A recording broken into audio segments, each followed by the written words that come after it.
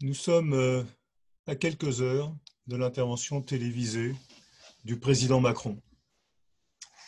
Le détail des mesures qu'il va annoncer n'est pas connu, mais une chose est connue, celle qui est à la une de la tribune des travailleurs, à savoir que, au lieu de combattre le Covid, le gouvernement s'attaque aux hôpitaux.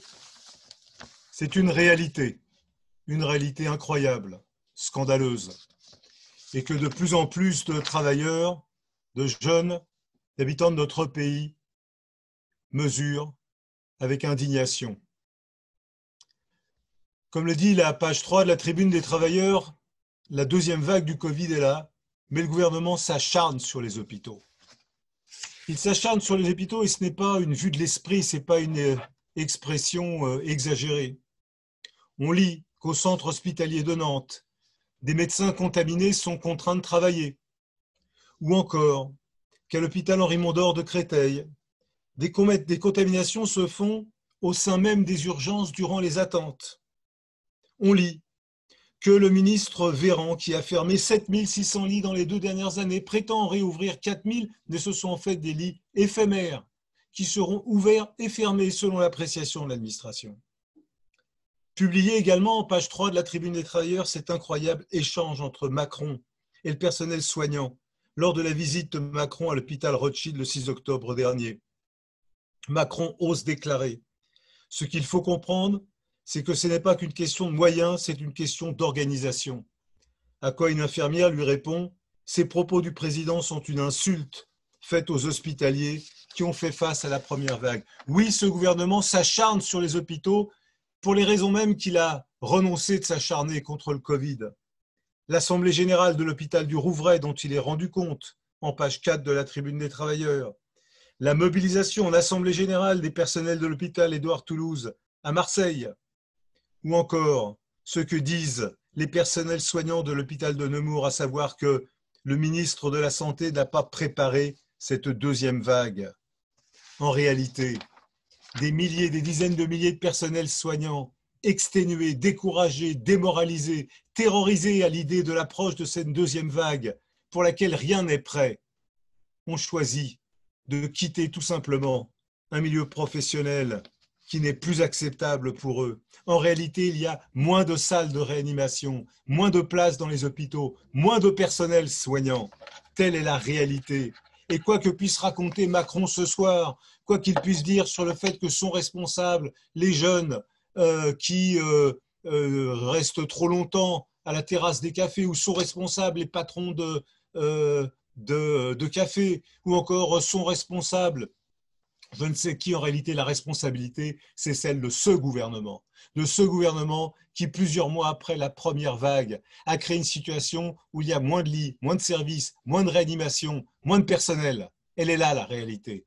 Et ensuite, on va prendre des mesures qui retomberont contre les libertés, contre le droit à l'organisation et contre la population. Et bien évidemment, dans ces conditions, la pandémie ne peut que se répondre. Et pendant ce temps-là, et pendant ce temps-là, un observatoire spécialisé pointe du doigt ce qu'il appelle les 40 Corona profiteurs. Oui, les 40 entreprises du CAC 40, vous savez, c'est un indice boursier qui permet de mesurer la prospérité des capitalistes. Ces 40 entreprises sont des Corona profiteurs. Les deux tiers d'entre elles, toutes, pardon, toutes ont bénéficié d'aides de l'État, les fameux plans de relance. Mais les deux tiers d'entre elles, tout en bénéficiant de l'aide de l'État, ont procédé à des milliers de suppressions d'emplois. D'un côté, on touche l'argent de l'État, de l'autre côté, on licencie. On touche l'argent de l'État à travers le chômage partiel, à travers les prêts garantis par l'État, à travers les exonérations de cotisations sociales et d'autres mécanismes encore. Alors oui, la question est posée. Toutes ces aides dont on nous promet, que certes ce sont des montagnes de centaines de milliards, mais qu'elles vont être utiles à l'emploi, la preuve est faite et l'éditorial de la Tribune des travailleurs y revient cette semaine. La preuve est faite, les chiffres sont là. Lorsqu'il y a eu le vote le 19 mars dernier à l'unanimité des députés du fameux plan de relance qui a accordé 343 milliards d'euros aux capitalistes, aux patrons et aux banques, devenus depuis 560. On nous avait dit à l'époque, ça va aider les entreprises afin de préserver l'emploi. Non, ça aide les entreprises afin qu'elles licencient. Exemple emblématique, Total. Total, d'un côté, a bénéficié du rachat de sa dette très largement par la Banque Centrale Européenne. Et ça fait partie de la fameuse aide pour l'emploi. De l'autre, Total annonce 1150 suppressions d'emplois. Mais Total vient de distribuer 7 milliards d'euros de dividendes à ses actionnaires. Au total, les entreprises du CAC 40, ces fameux Corona profiteurs, en même temps qu'ils ont licencié des dizaines de milliers de salariés, distribuent 34 milliards d'euros de dividendes à leurs actionnaires. Alors qu'on ne vienne pas nous dire que le plan de relance est un moindre mal qui va aider les entreprises demain pour préserver les emplois après-demain. Qu'on ne vienne pas nous dire que les fameux plans sociaux pour l'emploi, ou les accords de performance collective, ou le chômage partiel sont des mesures qui vont préserver l'emploi. Certes, ces mesures peuvent, à un moment donné, temporairement, partiellement, préserver quelques emplois, mais en réalité, elles font les choux gras des capitalistes. Elles les engraissent, les actionnaires engrangent dividendes après dividendes, et les travailleurs sont soumis à des plans de suppression d'emplois de plus en plus brutaux. Alors, Sauver les travailleurs, ce n'est pas sauver les multinationales. Sauver l'emploi exige, et quitte à nous répéter, nous le répéterons aussi longtemps qu'il le faut, aussi inlassablement, c'est l'interdiction des licenciements qui sauve l'emploi, c'est la confiscation des milliards de la spéculation, c'est leur affectation aux besoins en termes d'écoles, en termes d'hôpitaux, en termes de préservation de euh, l'ensemble euh, des emplois. Ces questions, elles sont posées dans la tribune des travailleurs à partir de ce reportage sur ce qui se passe réellement dans les hôpitaux, cette situation dramatique, l'angoisse qui saisit les personnels hospitaliers, qui par ailleurs se traduit au passage par le fait que d'ores et déjà en Ile-de-France, euh, l'administration hospitalière a déprogrammé 40% des opérations prévues pour faire de la place aux malades atteints par le Covid. Il faut comprendre que la déprogrammation des opérations, qui a déjà eu lieu lors de la première vague et qui aboutit, comme l'indique le professeur, le, docteur Paul Robel dans notre journal, qui aboutit à ce que des malades du cancer voient en moyenne leur traitement différé de deux mois, trois mois, a des conséquences immédiates en termes d'aggravation de maladies qui ne sont pas soignées correctement, en termes de mortalité. Et ce sont ces effets collatéraux qui aggravent encore le caractère criminel de la situation qui est constituée aujourd'hui dans notre système de santé. Alors, la tribune des travailleurs revient sur ces éléments. Elle revient bien sûr sur le combat pour l'interdiction des licenciements et en particulier dans la mobilisation des euh, travailleurs de l'aéroport de Paris. Elle rend compte de la dernière réunion du comité de liaison et annonce la tenue d'une nouvelle rencontre des comités pour l'unité pour l'interdiction des licenciements le 21 novembre prochain. Dans la tribune des travailleurs, on trouve bien sûr la suite des reportages sur euh, le véritable chaos organisé par le ministre Blanquer dans euh, la rentrée scolaire et puis sur les questions qui assaillent la population dix jours après les inondations qui ont frappé brutalement la, euh, la, population dans les Alpes-Maritimes et tout particulièrement dans la vallée de la Roya. Cette semaine, la tribune des travailleurs fait un effort supplémentaire. Elle n'est pas sur 16 pages, mais sur 20 pages. Pourquoi? Parce que nous sommes dans une situation paradoxale. Alors qu'il y a ces coûts qui euh, s'accumulent contre les travailleurs, les plans de licenciement, les menaces de confinement, de télétravail imposé, le chômage partiel, on assiste à une considérable vague de grèves et de mobilisation. Et vous le savez, la tribune des travailleurs a pour vocation d'être une tribune libre de la lutte de classe. Nous appelons en permanence non seulement les adhérents du Parti ouvrier indépendant démocratique, mais plus largement nos lecteurs, les travailleurs, les militants qui le souhaitent, à nous faire parvenir des reportages, des interviews, des articles, des contributions sur les luttes sur les combats dans lesquels les travailleurs sont engagés dans les différents pays, dans les différentes entreprises. Pardon. Et cette semaine, nous avons été confrontés à un problème. Nous avions trop de matériel, tout ne rentrait pas dans le journal. Alors nous avons décidé d'ajouter un supplément de quatre pages intitulé Supplément correspondance, lutte de classe, tribune libre. Et il y est question de euh, la grève à l'hôpital de Lannion dans les Côtes d'Armor, de la mobilisation des salariés de l'hôpital de Jury-les-Messes en Moselle, de la grève des agents euh, des finances publiques à Villeneuve-Saint-Georges dans le Val-de-Marne, de la mobilisation contre le groupe Muliez, propriétaire d'Auchan, d'Alinea et de tant d'autres entreprises dans le nord de la France, de l'initiative commune des organisations syndicales de l'Académie de Créteil pour exiger une dotation exceptionnelle pour l'Académie, de la mobilisation des parents et des enseignants de euh, Grenoble pour la réouverture de deux classes, du combat contre la fermeture de sites de, euh, du groupe Coperle en Bretagne, de la mobilisation contre les suppressions d'emplois dans l'hôtellerie parisienne, de la mobilisation contre les menaces de fermeture de sites des raffineries totales, de la grève à ArcelorMittal, des paroles d'ouvriers sur le piquet de grève, etc., etc. Oui, il y a dans ce pays, malgré les extraordinaires difficultés, il y a une vague de grèves, de mobilisation, de lutte de classe qui grandit. Peu de journaux en parlent, la tribune des travailleurs se fait un devoir d'en rendre compte. Alors bien sûr, ces mouvements, ces grèves restent pour l'instant isolés les unes des autres. Bien sûr, ces mouvements qui en toute logique devraient se rassembler et converger contre le gouvernement, pour l'instant ne le fait pas. Et il ne le fait pas, et nous savons pourquoi il ne le fait pas, c'est que depuis le vote du 19 mars, une espèce d'union sacrée relie au gouvernement toutes les forces politiques de la gauche qui, d'une certaine manière, ont prêté allégeance à Macron et à ses plans de relance. Et ceci a aussi ses répercussions dans le mouvement syndical où, quel que soit le bien fondé des revendications, il est entendu qu'il n'est pas question d'organiser la mobilisation pour bloquer la politique d'ensemble du gouvernement. Mais en bas, dans les entreprises, dans les services, dans les bureaux, dans les quartiers, cette mobilisation ne cesse de grandir. Le fossé ne cesse de se creuser entre l'arrogance du gouvernement qui prétend imposer les mesures les plus brutales contre les hôpitaux, contre l'école, contre l'emploi, pour défendre les capitalistes qui sont sa base sociale, pour leur permettre de s'engraisser toujours et plus. Et de l'autre côté, l'immense majorité de la population qui ne peut accepter cette injustice grandissante, où toutes les conséquences de la crise leur retombent dessus, tandis que les capitalistes et leurs actionnaires se gavent. Il n'y a pas d'autre verbe à utiliser.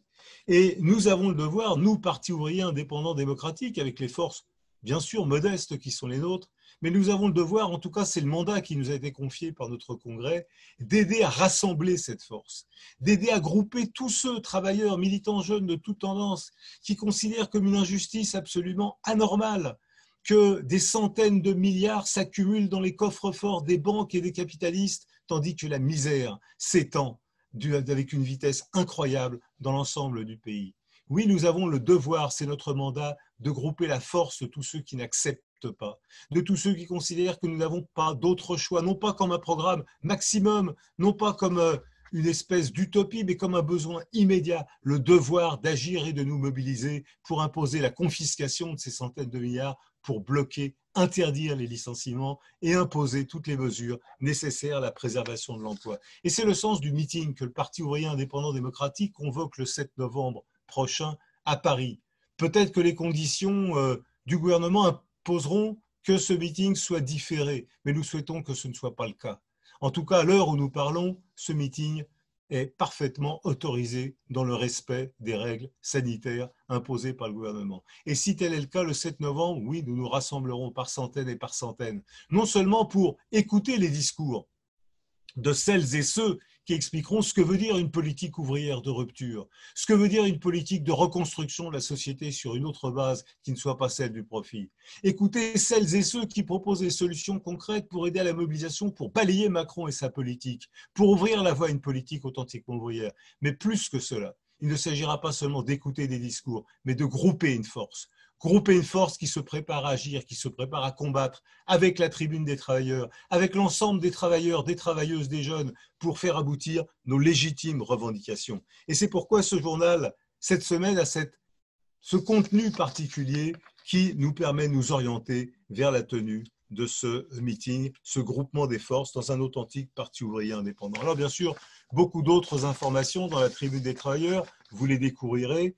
Euh, une devinette tout de même, quel est euh, l'homme politique euh, qui s'est déclaré lecteur attentif des encycliques promulguées par les papes et qui déclare qu'il reçoit la dernière encyclique du pape, Fratelli Tutti, comme un signal, qui ajoute que ces mots semblent assez aux miens pour que j'en sois ému et qui souhaite que la lecture du pape convainque autant que possible. Si vous voulez savoir quel est l'homme politique français qui s'affirme en quelque sorte le premier le, plus enthousiaste des fades euh, de, euh, du pape, eh bien, vous le découvrirez en page 10 de euh, la tribune des travailleurs. Dans la tribune des travailleurs aussi, des contributions sur la question de la situation des travailleurs issus de l'immigration, sur le danger du communautarisme, sur le combat pour l'égalité réelle entre tous les travailleurs et les jeunes, quelles que soient leurs origines.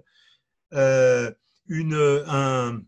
une interview de Roch Aokas, membre du bureau confédéral de l'Union syndicale des travailleurs kanak et des exploités, euh, cette centrale syndicale majoritaire, très largement majoritaire dans la population d'origine kanak, dans ce qu'on appelle, du point de vue de la puissance coloniale, la Nouvelle-Calédonie, et puis, euh, et puis des articles sur l'Afrique de l'Ouest, la Biélorussie, la Grande-Bretagne, l'Arabie saoudite, bien sûr la situation dans le Caucase, sur la situation au Pakistan.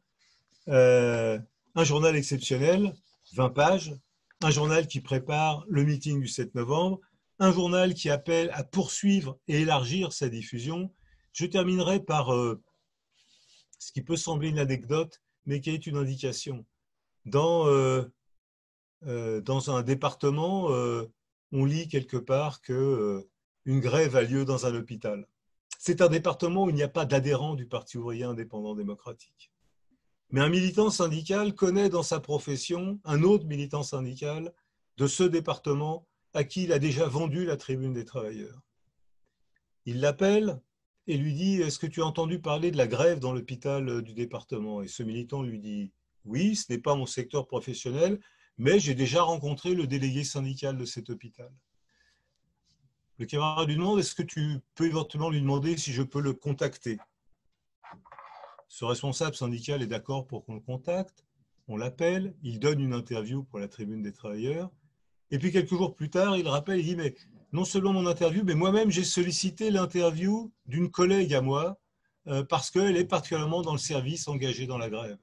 C'est ainsi que des travailleurs, des militants qui ne connaissaient pas la tribune des travailleurs, mais qui sont des militants ouvriers, qui sont engagés dans la défense de leurs collègues, trouvent naturel de répondre à la proposition de la tribune des travailleurs, de s'engager eux-mêmes dans l'alimentation de la tribune des travailleurs, parce que cette tribune mérite son nom c'est la tribune de tous les travailleurs, en tout cas de tous les travailleurs qui refusent de se résigner.